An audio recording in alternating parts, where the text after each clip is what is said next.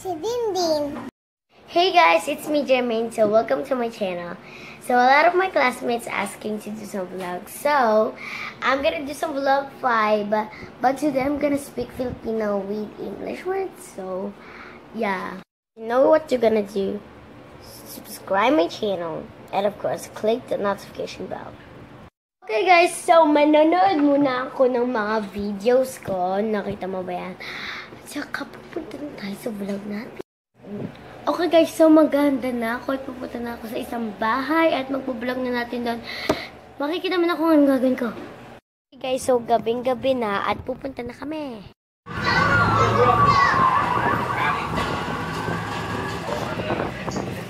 Dito ka namin, oh. Mga two. Next. Sino ka? Si Dindin.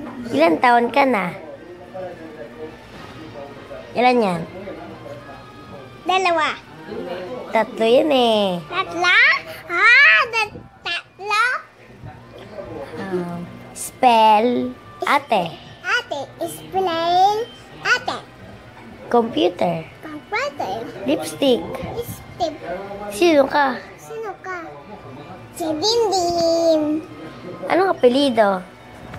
Oh, buhangin. Buhangin. Sino ka? Isan. Anong apelido? Ikaw. Tulida. Gusto mo yan? Sino ka? Si Dindin. So, andito na po kami with... Si? Sino ka? Si Dindin. Ka? Ishan. Si Ishan to at si Din. This guys. Sino? Hello. Na, napapauso ka, bes. Ang cute nito. Sabi mo ano? Pet Malu. May palo. Pet Malu Lodi. May palo. Okay guys, so kararating ko lang at patutulog na ako para makita niyo ako bukas na naman. Okay guys, so kakagising ko lang at kakain na ako pagkatapos na maliligo na ako. Brr. May timer! Okay guys, so kaliligo ko lang at inaayos ko tong mga bedals ko kasi nawala yung ano niya, yung bilog, yung parang ganito. Ganyan. Wala. It's okay. Eh. Ito siya, oh.